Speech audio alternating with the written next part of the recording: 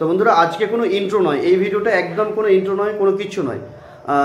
আমাদের এই যারা ট্রাভেল ভিডিও করি, যারা ট্যুর গাইড দিই, যারা ট্রাভেলের বিভিন্ন ব্লগ করি এবং সমস্ত কিছু তোমাদের সাথে শেয়ার করি, তোমাদেরকে দেখাই, তাদের সাথে একটা খুব ধিক্কারজনক ঘটনা ঘটেছে। কীভাবে? না, তোমরা সবাই জানো যে পুরী, হাওড়া, যে বন্দে ভারত এক্সপ্রেস, সেটা চালু হয়ে গেছে।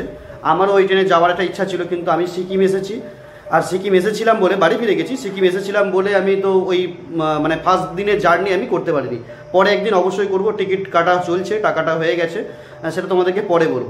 কিন্তু ব্যাপারটা হচ্ছে যে, আমাদের এই প্রথম দিনের জার্নি মানে হাওড়া থেকে পুরী পর্যন্ত গিয়েছিলেন আমাদের প্রচুর ট্রাভেল ব্লগার আছেন, যারা অনেক বড় বড় ভিডিও করেন। যেমন আমি যাদেরকে থেকে শিখেছি, যাদেরকে থেকে ইন্সপায়ার হই, যেমন শিবাজি দা, কৌশিক দা, তারপরে আমাদের সৈকত ভাই আছে বং এক্সপ্লোরারের। এরা সবাই কিন্তু গিয়েছিল। তাদের ভিডিওগুলো আমি বসে বসে দেখছিলাম, রুমে বসে বসে দেখছিলাম। মজা নিচ্ছিলাম, ভালো লাগছিল। মানে নিজের একটু মন খারাপও লাগছিল যে আমি যেতে পারিনি বলে।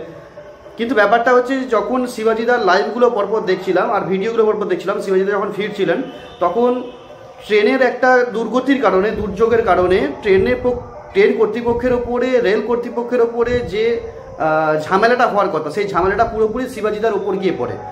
মানে কী কারণে ট্রেন থেমেছিল, এতক্ষণ ডিলে কেন হয়েছিল, সে সমস্ত কিছু নিউজ চ্যানেলে কিন্তু তোমরা দেখতে পাবে। এবং তার কারণে এই সোমবার দিন মানে আজকে ট্রেন কিন্তু বন্ধ আছে। মানে ওই ট্রেনটা বন্ধ আছে, বন্দে ভারত বন্ধ আছে। টিকিট ক্যান্সেল হয়েছে সবার। তো সেক্ষেত্রে আমরা সবাই কিন্তু দেখেছি কারণটা। আর শিবাজিদার ব্লগগুলো যখন দেখছিলাম, তখন দেখছিলাম উনি পুঙ্খানুপুঙ্খভাবে তুলে ধরছিলেন যে কী পরিস্থিতি, কী সিচুয়েশনে এখন আছে পরিস্থিতিটা, এই সমস্ত কিছু কিন্তু উনি বলে যাচ্ছিলেন। কিন্তু কয়েকজন অসভ্য যাত্রী আমি ভদ্রলোক বলতে পারলাম না। অসভ্য যাত্রী, তারা ওনাদেরকে অকথ্য ভাষায় গালিগালাজ করেন, শুধুমাত্র ব্লগারদেরকে। আপনারা প্রশ্ন করতেই পারেন, আপনারা বলতেই পারেন যে আমরা নাকি রোজগারের জন্য এটা করি। কিন্তু আমি একজন প্রফেশনাল মানে আমি আমার গ্রামীণ ডক্টর একজন বলতে পারেন, আমি গ্রামেতে প্র্যাকটিস করি, আমার তাতে সংসার চলে যায়। ঠিক আছে? এটা করে আমাকে খেতে হবে না। শিবাজিদা একজন যথেষ্ট সম্মানীয় ব্যক্তি এবং নিপাট ভদ্রলোক। তারপরে সৈকত ভাই আছে সৈকত ভাই ছিল। সৈকত ভাইকে তো সুরের বাচ্চা বলে পর্যন্ত গালিগালাজ করেছে। তাহলে এগুলো তো ঠিক নয় না? মানে আমরা কি করি? আমরা হচ্ছে আমাদের কাজটা করি, তার সাথে আমরা চেষ্টা করি যে তোমাদেরকে মানে আমাদের যা ভিউয়ার্স রয়েছে, যারা সবাই সব জায়গায় যেতে পারে না, যারা সব কিছু আনন্দ নিতে পারে না, তাদেরকে আনন্দ দেওয়া এবং সাথে যাদের যাওয়ার ইচ্ছা থাকে, তাদেরকে সঠিক ইনফরমেশন দেওয়ার চেষ্টা করি, যাতে সেই ইনফরমেশনগুলো নিয়ে পরে কোনো অসুবিধা না হয়। এই যে আজকের এই দুর্ঘটনাটা যেটা হয়েছিল, তার জন্য মানুষের কীরকম একটা প্যানিক হওয়ার ব্যাপার থাকে। তো সেই প্যানিক থেকে যাতে বেরিয়ে আসতে পারি, যখন কখনো আমি যখন যাব না, এরকম কিছু হবে না, এরকম তো কোনো মানে নেই।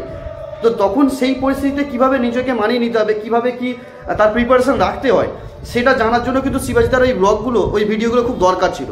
কিন্তু কয়েকজন অসভ্য যাত্রী তাকে ডাইরেক্টলি গালিগালাজ করে এবং মানে আক্রমণ করে পার্সোনাল অ্যাটাক করে মানে মারধর পর্যন্ত করতে গিয়েছিল। তো এগুলো তো ঠিক নয় না? আমরা ব্লগাররা আমরা কি করি? শুধুমাত্র কি নিজেদের কথাটাই ভাবি? তোমাদের কথা কি ভাবি না? তাহলে ইনফরমেশন দেওয়ার তো কোনো দরকার ছিল না। নিজেরা নিচে কিনে হেসে, নাচ গান করে হেসে কোমর তুলিয়ে পয়সা রোজগার করা যেত। এখন যারা সবাই করে। আমি এরকম কোনো কন্ট্রোভার্সি করছি না। আমি বলতে চাইছি যে, আজকে যে পাবলিকের রিয়াকশন যারা ব্লগারদের ওপরে এইভাবে আক্রমণ করল, সেই তাদের কি কোনো শাস্তি হওয়া উচিত নয়, যারা গালিগালাজ করল? যাই হোক, এই যে আজকের এই ঘটনা ঘটেছে, এই ঘটনার জন্য তীব্র ধিক্কার জানাচ্ছি। নিন্দা একদম মানে এছাড়া অন্য কিছু আমাদের করার নেই, আমার বলার নেই। আর যদি কখনো এরকম কোনো সিচুয়েশনের মধ্যে পড়ি, আমি কিন্তু আমার মূর্তি দেখিয়ে দেবো। কারণ আমি কিন্তু ঝগড়া করতে খুব ভালো পারি, আর ঝগড়া কিন্তু আমি করতে যাব।